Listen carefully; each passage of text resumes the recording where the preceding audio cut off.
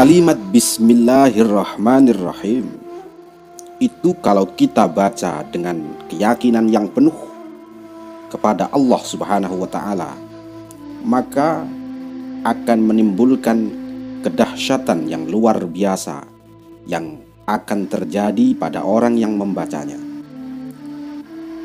Sebab Nabi Muhammad Shallallahu Alaihi Wasallam bersabda, tiap-tiap urusan atau pekerjaan baik yang tidak diawali dengan ucapan Bismillahirrahmanirrahim, maka akan terputuslah rahmat dan berkah dari Allah Subhanahu wa Ta'ala.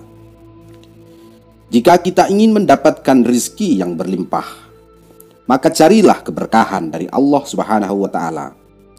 Dan apabila kita mendapatkan keberkahan dari Allah Ta'ala, maka Allah akan menunjukkan kemurahan dan kasih sayangnya untuk kita. Tetapi, jika kita mencari pekerjaan atau menjalankan usaha tanpa melibatkan Allah Ta'ala, apa yang akan terjadi dengan kita? Apabila kita hanya mengandalkan otot, lalu otot kita putus, maka juga putus rezeki kita saat itu juga. Dan apabila kita hanya mengandalkan otak, Lalu bagaimana kalau otaknya ngeblank? Otaknya down. Dan apa yang akan terjadi selanjutnya dengan rezeki kita?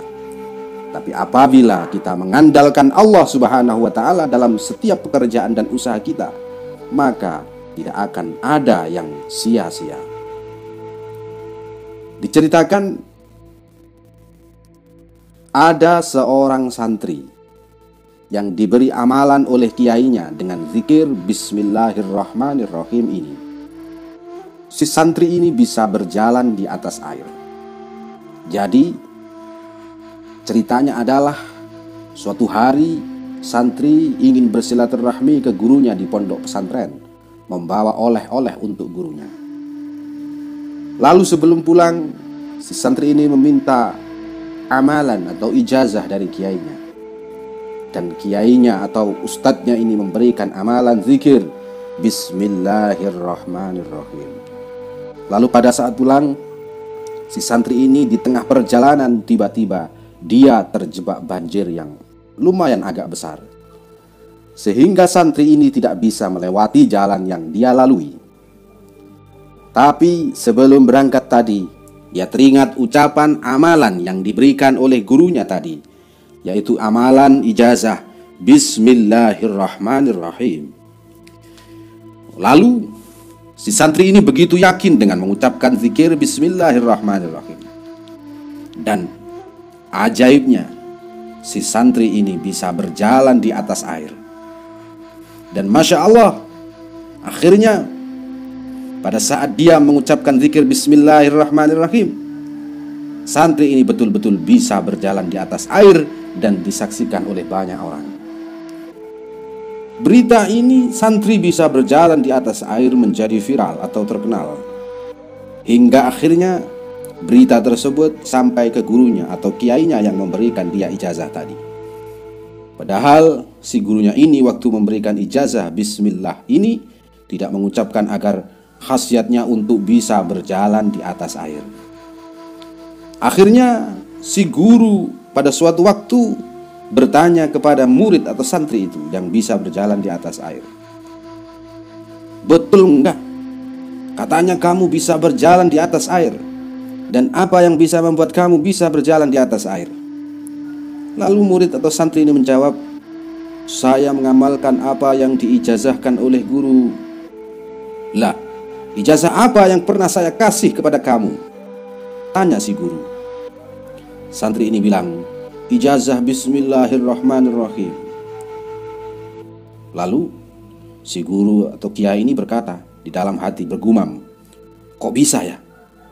Akhirnya karena si gurunya ini penasaran, maka dia bertanya di dalam hatinya, masa iya sih saya memberikan ijazah itu kepada murid saya dengan kalimat bismillahirrahmanirrahim, santri saya ini bisa berjalan di atas air. Dan kemudian gurunya ini tambah penasaran dan ingin mencoba khasiat daripada Bismillahirrahmanirrahim. Dia bilang di dalam hati, masa iya dia bisa, saya nggak bisa.